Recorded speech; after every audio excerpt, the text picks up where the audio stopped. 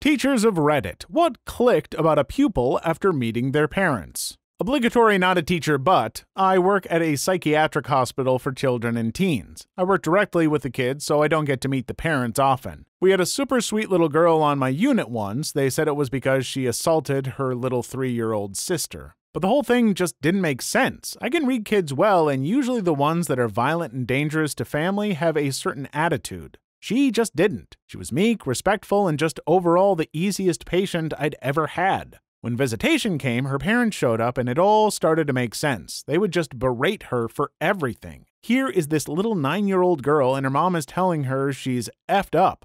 Why can't she be normal, etc., etc.?